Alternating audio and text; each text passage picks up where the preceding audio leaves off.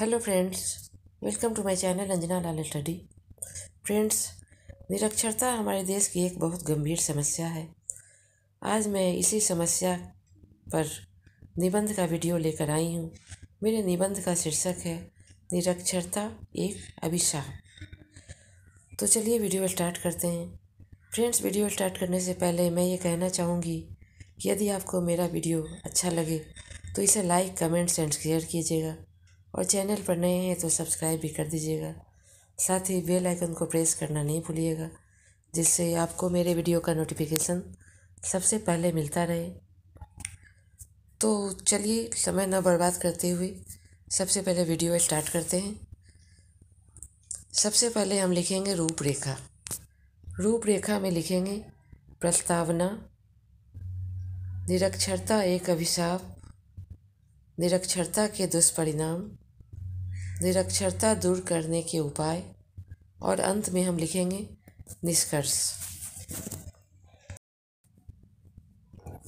प्रस्तावना में लिखेंगे, निरक्षरता का सामान्य अर्थ है अक्षरों की पहचान ना होना। जो व्यक्ति पढ़ना लिखना बिल्कुल नहीं जानता, अपना नाम तक नहीं लिख पढ़ सकता, उसे निरक्षर कहा जाता है। निरक्षर व्यक्ति ना तो संसार को जान सकता है और ना ही अपने साथ होने वाले लिखित व्यवहार को समझ सकता है। इसलिए निरक्षरता को अभिशाप माना जाता है। इसके बाद लिखेंगे निरक्षरता एक अभिशाप। हमारा देश भारत सदियों तक परतंत्रता की बेड़ियों में जकड़ा हुआ था।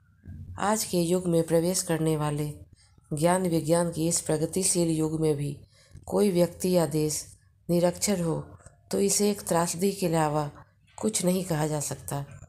परंतु यह तथ्य सत्य है कि स्वतंत्र भारत में शिक्षा का विस्तार हो जाने पर भी भारत में निरक्षरों तथा अनपढ़ों की बहुत अधिक संख्या है। हमारे देश में पराधीनता के काल में शिक्षण सुविधाओं का नितांत अभाव था।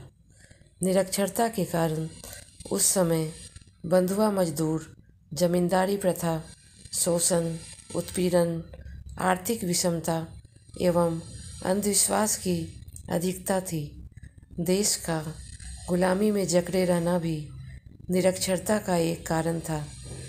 इसी कारण आज़ादी के बाद साक्षरता के अनेक कार्यक्रम चलाए गए। अब हम लिखेंगे निरक्षरता के दुष्परिणाम। इसके क्या दुष्परिणाम हो सकते हैं? निरक्षर व्यक्ति का संपूर्ण जीवन कष्टों से भरा होता है। वह न तो अपने किसी प्रियजन को पत्र लिख सकता है और न ही किसी का पत्र पढ़ सकता है। वह किसी दस्तावेज़ पर हस्ताक्षर तक नहीं कर सकता। इसलिए लोग उसको अंगूठा छाप या अंगूठा टेक कहते हैं। निरक्षर व्यक्ति किसी से अपने दिल की बात भी नहीं कर सकता, क्योंकि उसे किसी भी विषय पर ठीक से बोलना नहीं आता।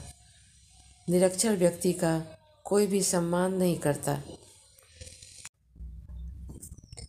हमारे देश में निरक्षरता ग्रामीण क्षेत्र में अधिक है। शहरी क्षेत्र में निरक्षरता का प्रतिशत कम है। यह निरक्षरता का एक दुष्परिणाम है।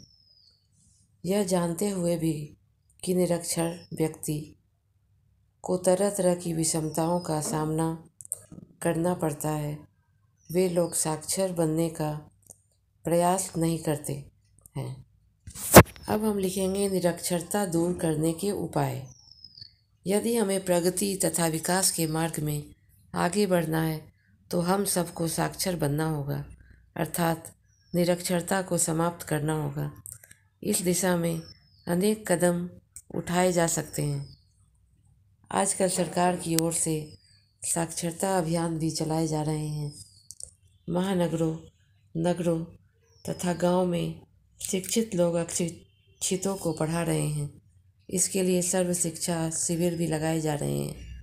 अधिकतर लोग, निरक्षर लोग मेहनत मजदूरी करने वाले होते हैं। घरेलू स्त्रियों के लिए दोपहर के खाली समय में पढ़ने लिखने की मुफ़्त व्यवस्था की जाती है। निरक्षर लोगों को शिक्षा सामग्री भी उपलब्ध, निःशुल्क कराई जाती है। अंत में हम निष्कर्ष लिखेंगे। निष्कर्ष में हम लिखेंगे, आज का युग कंप्यूटर व इंटरनेट का युग है। ऐसे विकासशील समय में निरक्षरता का होना देश के नाम पर तथा स्वयं के नाम पर कलंक है। अतः हम भारतवासियों का यह परम कर्तव्य है कि हम साक्षर होकर दूसरों को भी साक्षर करें और सर्व शिक्षा अभियान का हिस्सा बने। Thank you very much for watching my video तो मिलते हैं नेक्स्ट वीडियो में नेक्स्ट टॉपिक के साथ। तब तक के लिए बाय बाय